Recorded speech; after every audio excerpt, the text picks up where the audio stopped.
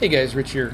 So this is where we left off in part one. Um, just as a quick review, in part one, we disassembled everything necessary on the tractor to get the injection pump out, removed one of the factory shims, and then reinstalled everything, got it all back together. And this is right after I started it for the first time after all that work. Um, if you didn't watch part one, I strongly suggest you go back and do that. I talk a lot about uh, kind of the, the theory in diesel engines, uh, you know, how they make power and what the differences are between the D1703 direct injection and the L2501 and some older variants of the D1703 that are also direct injection. So again, if you haven't seen that, I strongly suggest you go back and watch it. If you're here to see part two, well, welcome back. Let's get back to it.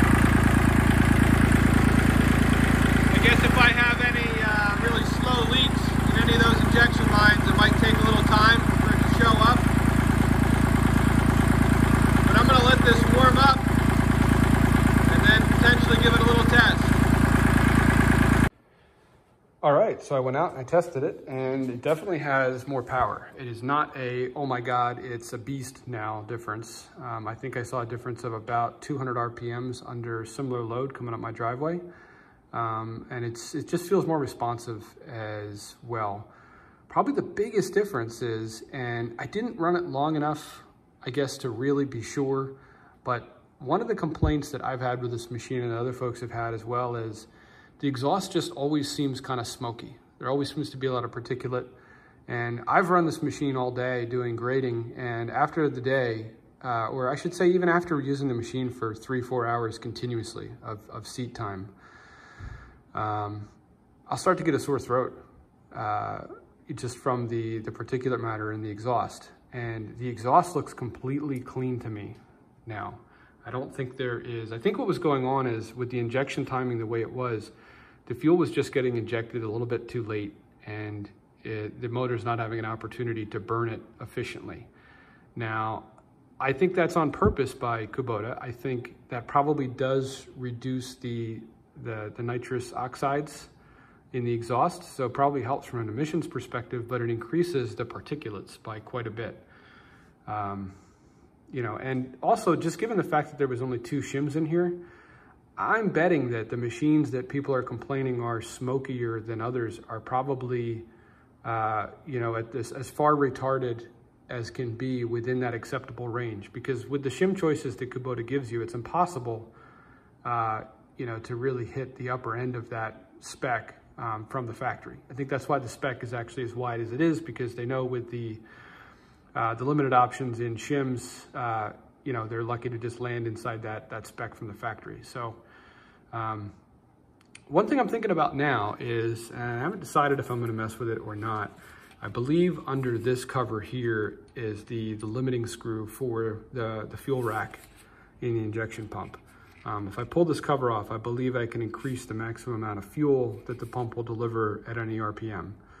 Um, I think I might give it a shot because the exhaust is just completely clear now. Even when this thing bogs a little bit under power, there's no, there's no black smoke. So it's telling me actually that uh, with the timing where it's set now from, for the, the injection pump, we could probably do with a little bit more fuel and that might make a more significant difference in the power delivery as well. So I'll bring you back and let you know uh, what I do here. Also, just from a leak perspective with everything, the only thing I noticed is the only place it looks like I might be leaking a little bit is right there. It's a little wet uh, underneath that uh, flare nut. Um, it's not dripping anywhere, so I think I might be oozing just a little bit from there. I don't see it wet anywhere else. So that's great if that's true, uh, that that's the only place I'm a little bit loose on because that's one of the easiest ones to, to tighten up. Oh, I'm not proud of this, but uh, I've been trying to remove this thing for probably going on 40 minutes. Uh, it's actually a much thicker steel than I thought. It's a newer design than the caps that I've seen in other videos online. Uh, just I've just taken the dremeling most of the way through it. I'm gonna see if I can get it off because at this point I've uh, I'm kind of at a point of no return. In messing with it, I actually loosened up that bolt, um, so I couldn't even uh, the bolt underneath the the set bolt, so I can't even run the tractor um, until I'm able to get this off and uh, and get the bolt adjusted now. Okay, so after the last shot there, you saw I had dremelled it down pretty thin, and what I was able to do, I got it thin enough that I was able to split it with a screwdriver. So, and you can see, I just wanted to show you before I try and get any more off. It looks like there's a part of it there that either has like a, uh, um, a ridge or even like maybe a washer uh, crimped inside of this that seems to be spinning between uh, two of the nuts in there. So that's why this thing was so hard to get off. And this is thick metal. You can see there, me cutting through with the Dremel. I cut through at a bit of an angle, but still, um, this is a much newer design than the simple crimp-on ones that I've seen in other videos. This was a bear uh, to get off, and I'm still not completely off yet. Okay, so I've gotten this off, and now having it off, I don't think there's any way I would have gotten this off of here uh, without um, without dremeling it. Uh, they've definitely updated the design. This appears to be, I thought this was two pieces. This appears to be one piece with a shoulder on there. Uh, and then this, uh, this washer inside of here that is, the washer I believe uh, is actually pressed into uh, that cap that I removed. Um, so the way this works is, and now this is similar to other videos I've seen at this point, but the way that this works is this whole thing turns. You can put an Allen key in the end, turn this whole thing, and then this essentially locks it down on the motor. So this entire, the whole threaded piece inside spins. This locks it down in place. Um, and then the cap seals up against there. Uh, I sprayed, uh, I had a bunch of metal shavings or metal dust, I guess there, uh, at the end from dremeling it. Um, I rinsed that with some kerosene. I'm going to rinse it even some more just to make sure I don't have any filings there.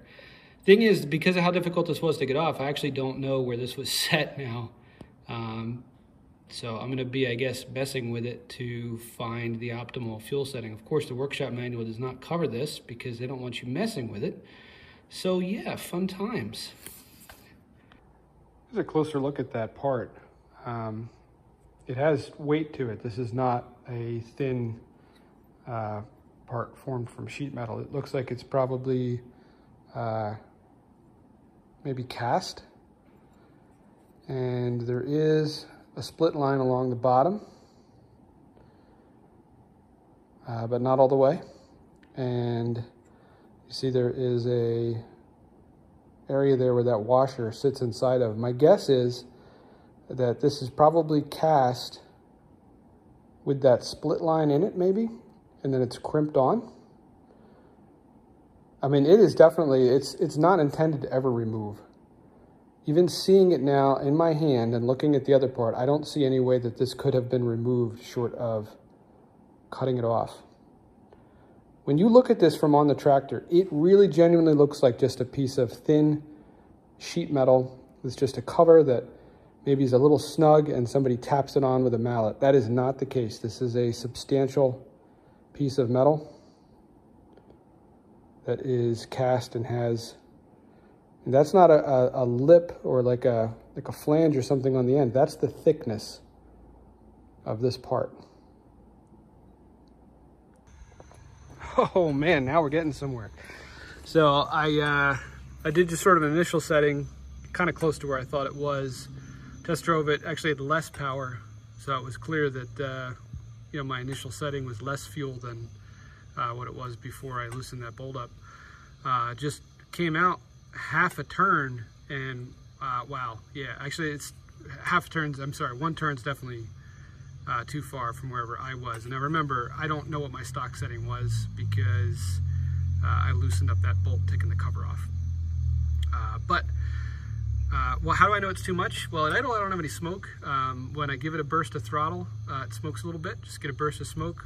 But under load, it's definitely smoking. Not a lot, uh, but I don't think it really should be smoking uh, at all under load, or certainly not visibly, and I can I can definitely see it. It's not it's not quote unquote rolling coal, and I have no desire to do that. Um, I just want you know the power maximized out of this thing within safe limits. So I'm gonna probably go back in maybe a quarter turn and then test it again. All right, this thing is a beast now. Um, huge difference in power. Uh, I think, you know, so retiming the, the injection pump helped a little bit, but the reality is after that timing adjustment, um, I didn't have any more fuel, so uh, it just wasn't really doing anything. Uh, this thing is, I mean, I don't have a dyno. It feels uh, like probably at least 25% more power, potentially even more.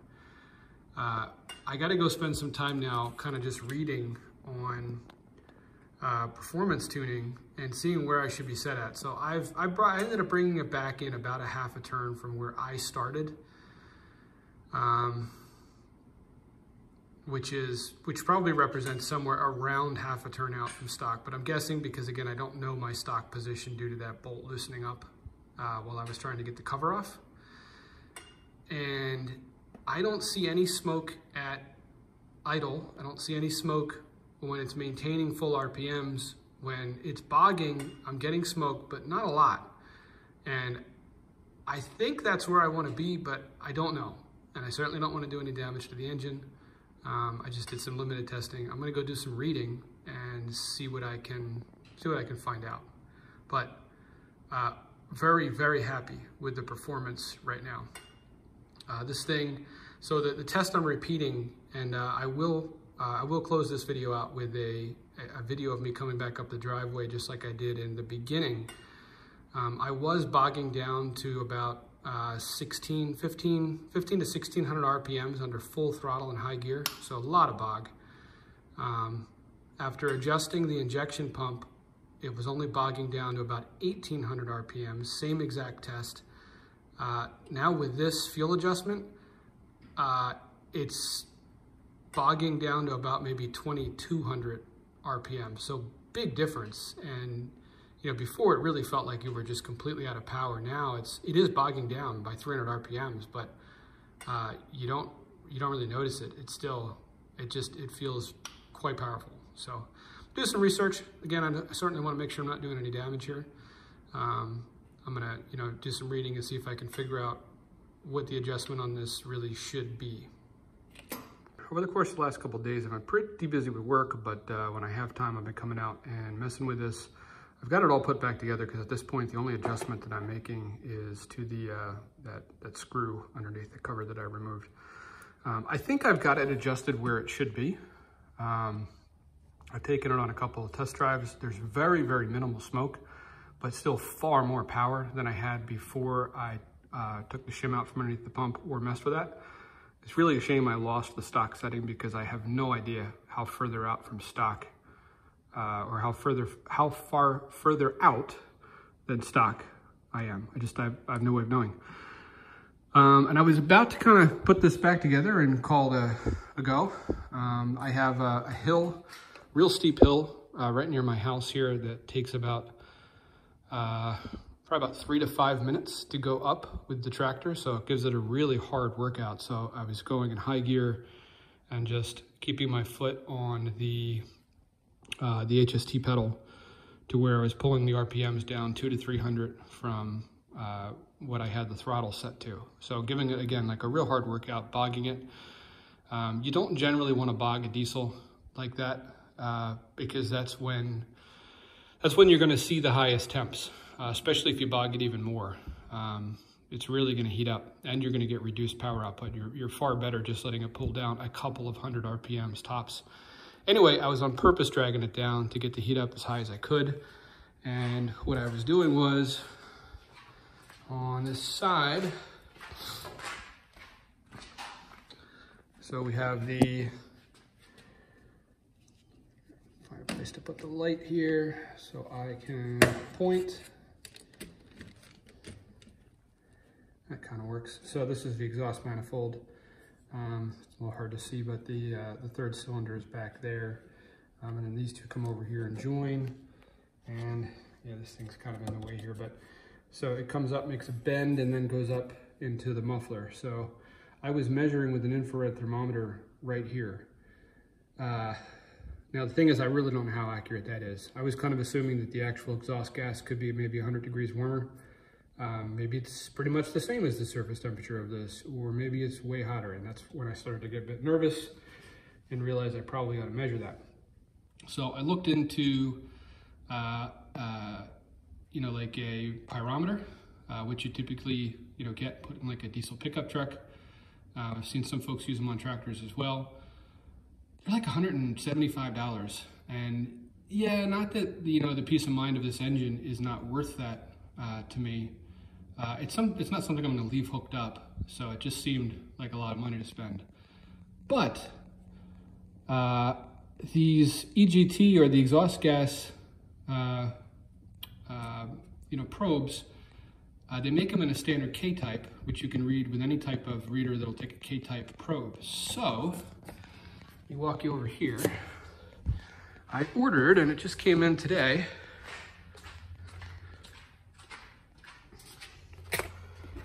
just an EGT probe, and this is only like 20 bucks, amazingly. Um, and I already had a K-type probe reader. So I had, a, I two plugged in here just to make sure that these readings seemed seemed good on the probe I just bought. Let's turn this on. So probe two is a known good probe um, that I already have. And probe one is the EGT probe. Oops, wrong switch. That was Fahrenheit to Celsius. Uh, so, so we switched to, from TC2 to TC1. And look at that, we're right on. No difference at all uh, between the probes. So uh, now that doesn't speak to the accuracy of this, you know, up, up to and over a thousand degrees, but um, at least I know I'm getting a logical reading from this. I'm not just blindly testing it. So that section of pipe that I just showed you here, let's unplug this. Do this with one hand? No, gotta set you down. Okay, back at the tractor, and I know it's hard to see with this thing here, but so this comes down and makes a bend over to the exhaust manifold. So this riser pipe here is actually part of the muffler. And what I'm gonna do is I'm gonna drill that. This is uh, eighth inch um, NPT, uh, National Pipe Thread. If you see that, you see the threads get larger as it goes up so that it tightens up in the hole and you don't need to use any type of sealant on it for this type of application. It just uh, tightens up on its own. Um, a lot of guys will put this in their manifold. Really fortunate on the L2501, the way the muffler works, I don't see any reason why we can't put it right in that sort of up pipe to the muffler. That is super convenient because we can just unbolt this whole muffler. See, it comes up over here, big muffler, and then comes down over here. That's essentially the exhaust pipe. So I believe we can just take these four bolts out, lift this whole thing off, and then I can drill this and tap it off the tractor and then reinstall it. My thought is, and the lighting's not great here, but so the alternator's here, pipe up is here. There is nothing in this space here behind you. I know you can't see back there, but there's nothing there. So my thought is if we drill the hole back here facing the front of the tractor, uh, that'll go into the pipe. This will point straight down into that void between the alternator and the pipe and the wire will conveniently come down to where there's already a bundle of wires. And then I can run this guy, it's the, uh, the K-type connector, uh, back underneath the dash here, and I can plug it into that probe while I'm running the tractor right now to test it, give it a real heavy load, but I can also coil it up and just keep it up under there. So if in the future I notice any changes with the way things are running, or if I'm gonna be another scenario where I'm really gonna be heavily loading this tractor for you know, several minutes at a time, like absolute full load. Um, if I want to, I could plug in and, you know, just get a look and see where we're at. To be honest, I'm probably never gonna plug this guy in again. This is sort of a, I am gonna, you know, almost abuse this tractor going up this hill. Uh, it's about, this hill's probably about a mile and a half long, at least a mile, and it's steep. Um, because that's probably the heaviest load that this tractor is ever gonna see. That and snow blowing. And I might hook this up, if we get a really big snow this year, I might hook this back up just to see where uh, the exhaust temperature is. Anyway, I know there's a lot of talking, but uh, I think it's important I talked about that because I found in my reading and understanding how all this stuff works, I found so much misinformation. Uh, don't go out there and read one source of information and think that you've got it. I came across countless threads, comments from people where they were saying, oh, just turn the fuel up, you'll be fine. Uh, if you have too much fuel, it's just going to make it run cooler anyway. Absolute lies. That's true in a gas engine, not true in a diesel. A diesel engine, you're never controlling the amount of air coming into it. At least a simple mechanical diesel like these Kubotas. Um, uh, maybe the newer ones might have some additional controls on them, uh, the ones that have all of the emission stuff, but a, a simple mechanical engine like this one, uh, you always have full amount of air coming into the engine. It's just a question of how much diesel you're injecting into the cylinder to burn. The more diesel you put in there, the faster the engine runs, the more power it produces. Uh, it's the governor. When you, when you adjust the throttle, you're really just telling the governor uh, to give it essentially uh, more fuel up to a certain point. Um, it's never going to go truly wide open throttle, just increasing the, the throttle. Uh, for it to be quote unquote, quote unquote, wide open throttle would be your throttle all the way up and a load on the engine, making that governor respond by moving the fuel rack as far over as it can go uh, to get more fuel into the engine. So more fuel you put in there, the hotter that engine's gonna get. Uh, now, if you get more air in there, it'll cool it off. That's uh, one of the reasons that you can get a lot more power out of a diesel with a turbocharger because you get more air in there. Not only do you need more air for that additional combustion for the fuel, but that air also helps cool it off. So what I'm getting at is if you screw with that screw, not so much the timing. If you did just the timing, you really don't have anything to worry about, but you're not going to reap the benefits or the full benefits. You're going to reap some benefits. Um, and I will talk about that at the end of this video. Uh, but you're going to get much more of a benefit if you also give the tractor a bit more fuel. But if you're not measuring your exhaust gas temperature, you don't know if you've given it too much fuel. And the pistons in these things, pretty sure they're aluminum. Aluminum melts at like 1200 degrees or around there anyway. So if your temperature is getting too hot, you're gonna burn a hole in the piston. That is a real thing. Don't do that. Don't be stupid.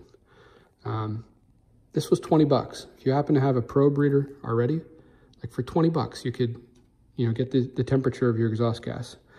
So, I know, a lot of talking, but it's important. I'm gonna pull this muffler off.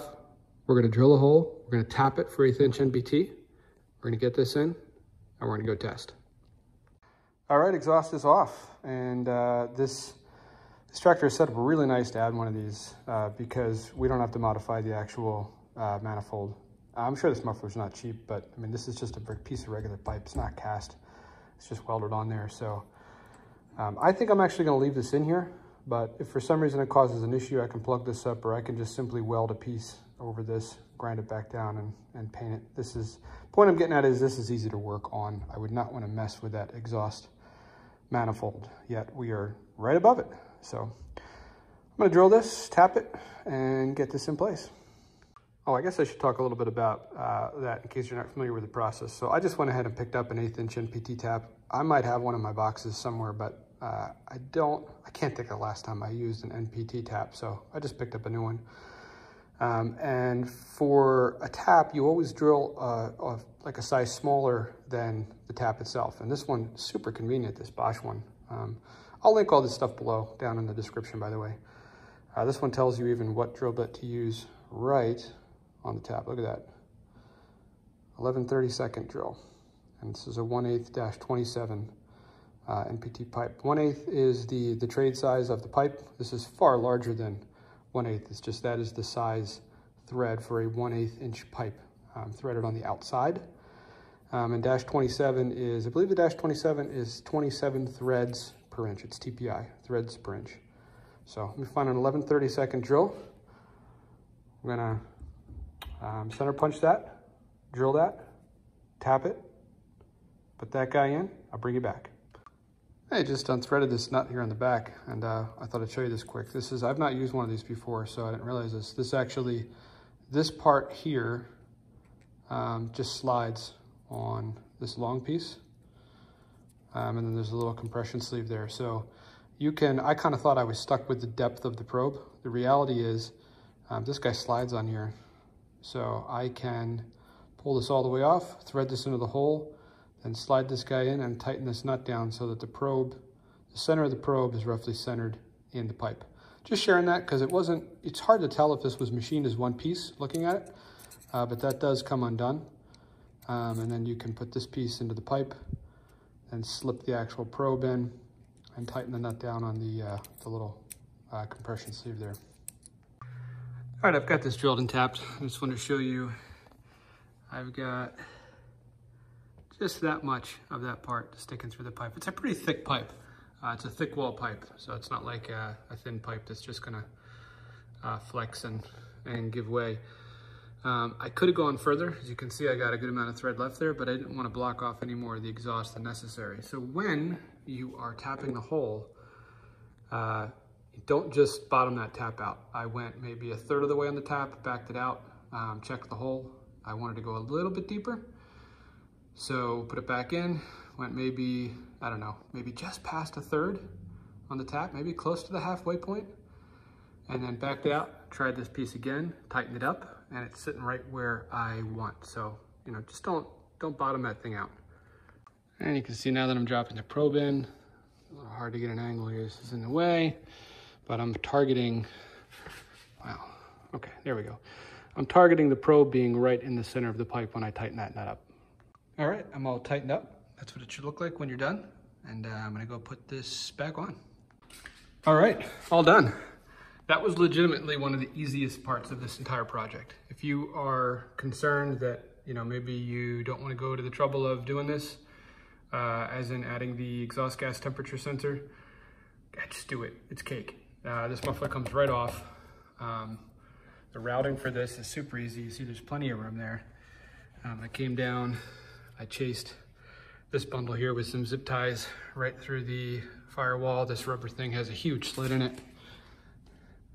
Through, zip tied twice there, and then the cable's just loose up here. I'm gonna plug it into the uh, K-type thermocouple reader while I am driving um, so I can get a look at the temps. And uh, I'm really curious to see how this compares to what I was reading with the infrared gun. My heart is gonna sink if uh, I find out that actually I was running this thing a lot hotter than I thought. I don't think that's the case, but let's find out.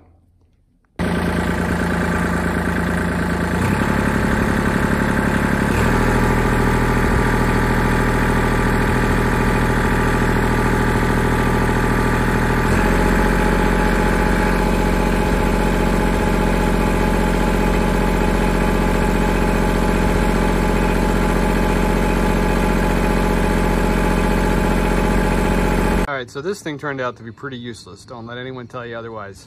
I started climbing up the hill that I climbed the other day and I quickly went over a thousand degrees here and actually got to about 1100 um, before I let off the, the gas. Uh, what it would have peaked out at, I'm not sure because I didn't want to get into that temperature uh, again. Um, you know, if you do some reading, you'll see that, uh, you know, like 12, 1300 degrees is, you know, not unreasonable. And as long as you have the cooling to keep up so you're, you don't get heat saturation, you should be okay. That's too high for me.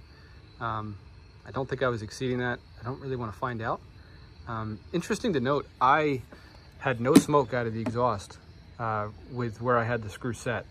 So if you're rolling around with visible smoke coming out of your pipe, um, and I'm not talking about like, you know, at night if you're holding a flashlight up to it, you're always gonna see some smoke with a, with a diesel, but no visible smoke coming out of my exhaust, even bogged.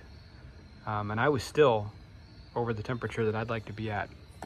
So you can't tune uh, by smoke level and power uh, alone. I backed the screw off a little bit, tried going up the hill again, and I could not get it over 1100 degrees. It was hanging out at like 1050, 10, 1050 to 1070 most of the time. Finally got it to bump just a hair over 1100 and I do have a noticeable decrease in horsepower at that fuel setting. So I'm probably gonna fool around with it a little bit more here. But bottom line, can't trust this. Don't tune just by the smoke level. You've got to tune by the exhaust gas temperature. I'm super happy that I dug up this uh, this probe reader and sprung for the 20 bucks for the the uh, the probe. 100% worth it. I'm gonna keep tuning. I'm gonna let you know where I land. Um, I'm kind of I need to do a little bit more research and some thinking about where I want to land for the maximum safe temperature for this thing to run. Again, this is not the temperature that you're running just rolling around doing general loader work, um, you know, or even using the PTO for, you know, lighter duty work. This is a worst case. You are bogging the engine nonstop for three, five, 10, 15, maybe even 30 minutes, like worst case scenario. That's what I'm tuning for. Um, I might go up a little bit. I don't know. Maybe, maybe I'll target, you know, just keeping it under 1200 in that absolute worst case condition. Because for anything else, this thing does not go over, I don't know, maybe six, 700 degrees. Um, maybe 800 at medium load. So I'll fiddle with it some more. I'll bring it back and let you know where I land. Oh, by the way, I don't necessarily think the temperature from this is wrong. The problem is it doesn't respond fast enough.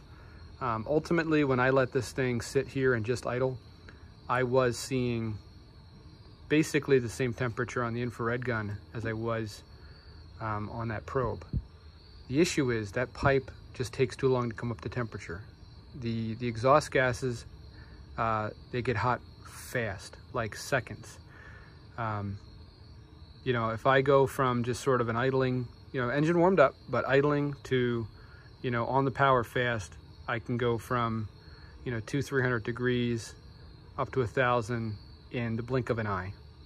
You can't read the pipe on the outside. I don't care whether you're doing with infrared, you're, you're strapping a, you know, something on there. You simply just can't read the exhaust gas temperature that way. Anybody that tells you otherwise is full of it. It takes that pipe too long to respond ultimately that pipe is going to settle out at the same temperature or close to the same temperature as your exhaust gas, but you don't have that long. You'll blow your engine up before you actually get a valid reading off of that pipe.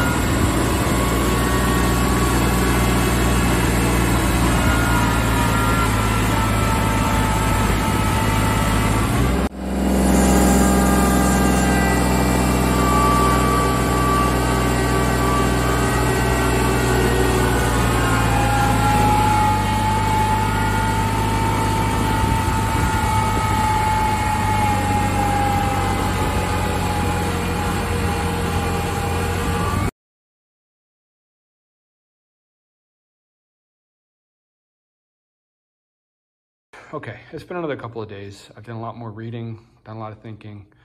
Um, I had basically, once I had the actual um, exhaust gas temp probe in there, um, I was finding that even when I had the screw backed, you know, pretty far out to where, you know, there was no smoke at any point in time ever, you know, not even when you, you know, throttle up, uh, the temperatures were still a bit higher than I was expecting. I think I was for tuning this for the absolute worst case scenario where you're just beating the snot out of it for five minutes straight. Uh, I think a thousand degrees is probably way too conservative. um, it may have been set up that way from the factory. Unfortunately, again, I don't know because I lost the setting of the screw. I really wish um, I had started this project by putting the exhaust gas temperature probe in, um, getting a setting or getting a reading in bone stock condition, getting a reading after adjusting the timing, and then getting a reading after messing with the fuel. Unfortunately, that is a, you know, just a magic wand scenario that does not exist. Um, uh, I took this out for, uh, the first time I took this out for a ride after I had basically tuned it for no smoke, which is, you know, what the consensus is on the, uh, the internet. Um, I was seeing my temps rising, you know, quickly up into the 1100s, kind of panicked, back to screw off a bit more, um, you know, and I was able to get the screw to where I could keep it under a thousand. But again, this is a worst case scenario situation where I've got the, uh, the RPMs at 2,700 and I'm going up a five minute long steep hill where I'm able to have this thing on 100% load the entire time. I was pretty upset because I had been using this uh, to try and confirm that my temperature wasn't too high, just reading the, uh, the pipe coming right off the header uh, like that. And this does not give you, by the way, I also have a, a, a nice uh, FLIR um, thermal uh, camera. And the reason I'm using this and not that is because I checked the uh, the header temperature with both this and that, and they were within two, three degrees of each other across a several hundred degree temperature range. So it's not that this is not accurate. This is just a cheap Chinesium. I mean, these, this was like 40 bucks. It's not that this isn't accurate. The problem is you can't read your exhaust gas temperature looking at the, uh, the manifold or your up pipe um, coming off the manifold.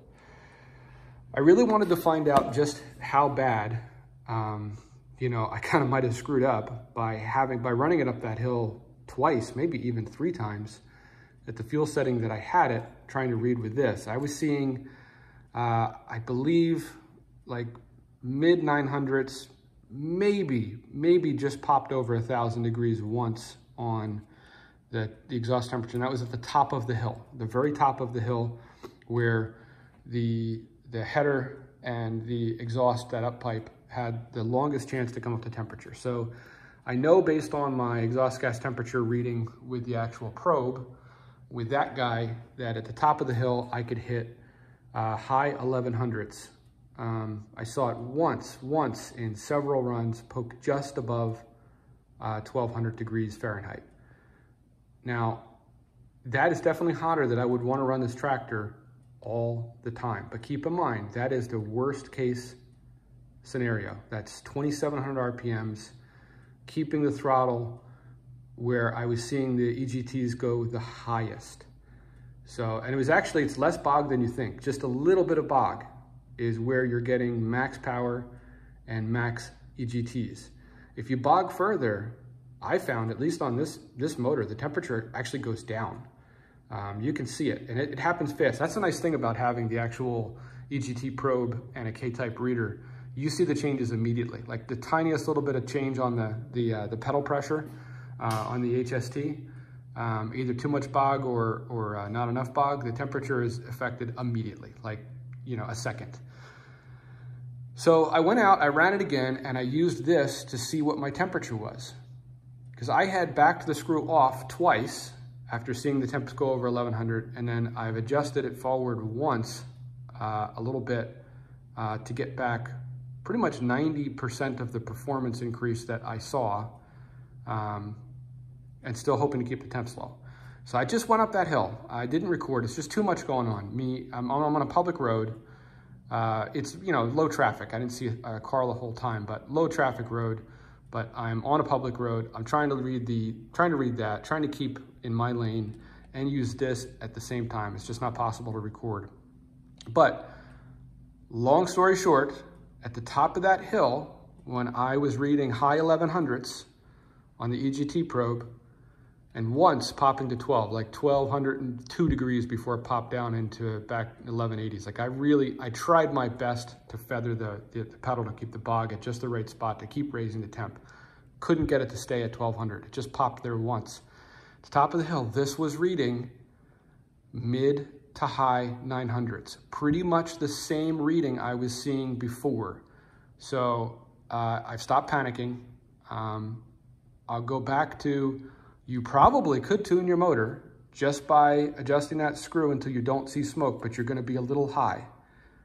So maybe tune till you start to see some smoke and then come back a quarter turn. I don't know. I would strongly recommend just doing the, uh, the EGT probe. But my guess is since I couldn't get quite as high as I saw before, that my actual temps were probably mid 12s, maybe, maybe poking into 1300. Um, all the stuff I've read online says you can run 12, 1300 degrees all day. Uh, you know, I don't, obviously it's, it's not that high stock. Uh, it's not that I don't believe that. I think if you have the cooling capacity and you don't ultimately get heat soak, which is just your cooling system not being able to keep up, it's probably okay. But I want this thing to last forever. I just want the power that it was designed to have. So I'm not comfortable running those, those temps. I would like to see under a thousand in normal operating conditions and not exceeding 1200 even when I'm beating the tar out of it for five minutes straight, that worst case scenario. Um, so yeah, I, am happy with where it's at now. I'm gonna put the hood back on because I figured that probably is gonna affect the cooling ability of this somewhat. And I'm gonna run that hill one more time with the hood on and just make sure that my temps stay at that under 1200 degrees on that worst case scenario. Um, and by the way, you know, that worst case scenario on your tractor, it's probably not doing what you think you're you're uh, you're, you're, doing. Uh, I found for for me that worst case scenario is pretty much just trying to run as fast as I can on the road. So like if you're running down the road maybe to get a log or to transport something, that's when you're probably seeing the highest EGTs. Even when you're not bogging the motor that much, it's just that constant, constant, you know, you're feathering that pedal, you know, trying to, to not bog the motor too much, but go as fast as you can. That's what'll get you there. So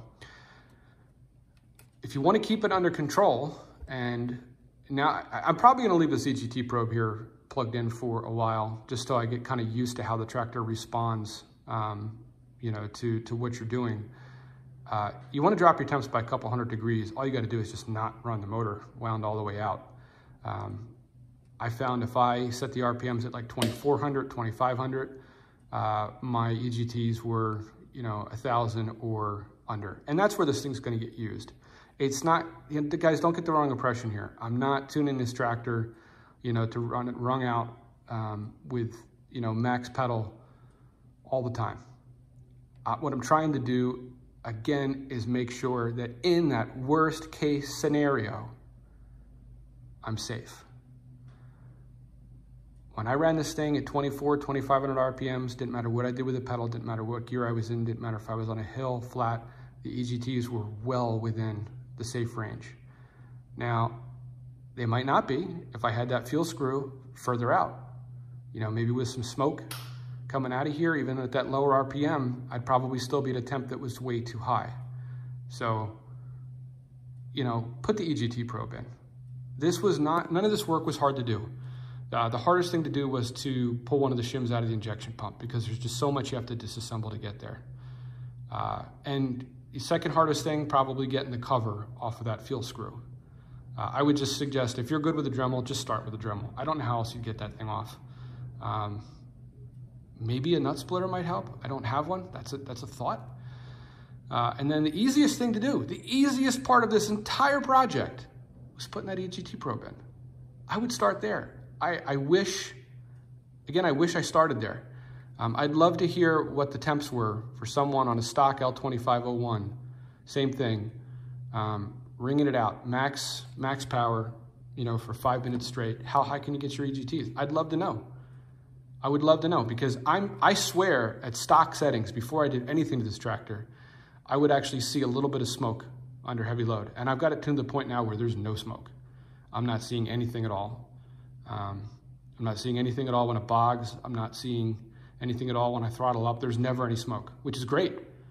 Um, if, you know, I, I'm, I'm super happy. I'm, I'm calling this done once I get the hood on and run it one more time.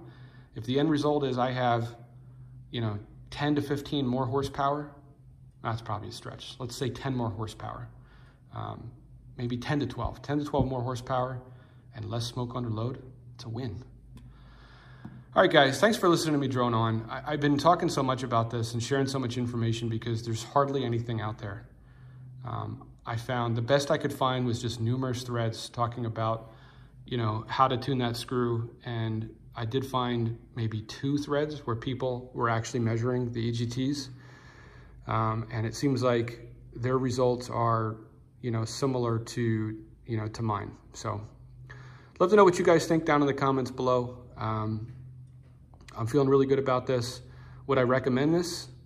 Uh, yeah, I think I would. But again, EGT probe first and just keep taking readings uh, the whole the whole time as you do each step. And if you do that, please comment below. I'd love to hear what your results were. Thanks, guys. So I just finished editing part two, uh, the video that you guys just watched, and there's a couple extra things I wanted to say. First of all, thank you so much for all your thoughts and comments on part one. Really appreciate all the questions, really appreciate all the discussion. Um, caught up with a couple of you guys on Facebook and Reddit as well. Um, I threw out some numbers. I think 10 to 12 horsepower is you know where I thought I might be in the video. Uh, I ran the numbers and I, would like to come back and be a bit more conservative. I, I think realistically, I'm probably seeing about a 23% increase in overall horsepower and about an 18% increase in horsepower uh, at the rated RPM for PTO. So what does that mean? Well, I would say that I'm sitting somewhere between 31 and 33 horsepower overall, and somewhere between 21 and 24 at the PTO. Um, I think you could get all of the horsepower that the the older direct injection variant of this motor has if you were to get all the way there from a timing perspective. I only got about half the way there from a timing perspective, just due to the way that the shims were set up in my tractor. I could have removed the second shim and just done some sealant, as a couple of you guys mentioned. The sealant is still going to have some thickness. I'm not sure how much. I'm not even sure how to go about measuring that without kind of trying to do it on a block with an injection pump tightened to the correct torque and like an indicator. So comment below if you've got any additional thoughts there. But I, am still really happy with those gains. And you know, I think particularly for the guys out there, I know I saw at least two people mention in the comments, you know, how smoky their original motors are. And I mentioned that in the, the, the intro to the first video too. Keep in mind there's a range on these motors, you know, from a timing perspective. And I think the people that have the smokiest, dirtiest motors have, you know, the most retarded motors from a timing perspective, just the way they ship from the factory. Because remember, it's a range.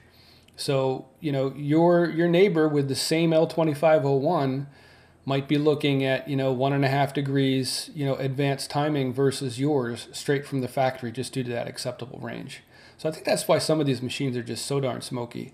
That is probably the biggest gain um, that I would say I have from doing this work is my machine is really not smoky at all anymore. Um, I don't notice it running machine for extended period of times like I used to.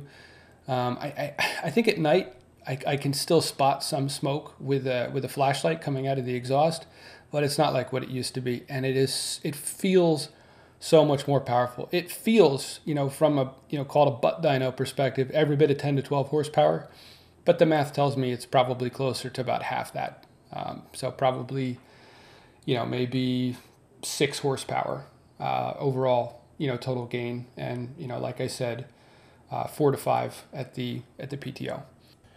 I also wanted to throw an offer out to you guys. Um, you know, I mentioned in this video that I really wished the first thing that I had done was install that EGT probe and get an exhaust gas temperature reading going up that hill under the same type of load conditions. So, you know, RPMs maxed, you know, feathering the pedal, just trying to get it as, you know, hot as I can um, you know, with the with the stock settings.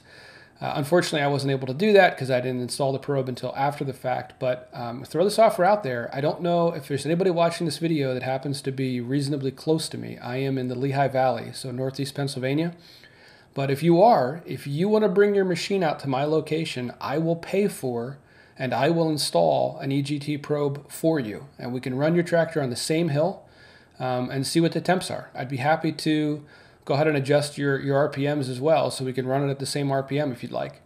Um, but hit me up, send me a comment below or send me a private message. Um, reach out and uh, I can I can reach out to you and we can we can work that out. I would love to do that. Um, as always, thanks for watching, guys. Uh, you know, thank you for again all your your comments and, and likes in the previous video. Um, please comment below if there's anything you think I missed or there's anything else that you would like to see. And um, yeah, if you haven't already subscribed, uh, please do. I've got a couple of the videos coming out for this tractor in the next couple of weeks. I designed and built a snowblower rotation kit for the Land Pride uh, blower I run on the back. That's going to be coming out soon. And I still have videos coming out on another D1703 that I picked up uh, used for basically scrap value. Uh, so we'll get into that as well. Thanks for watching, guys. Take care and have a happy holidays.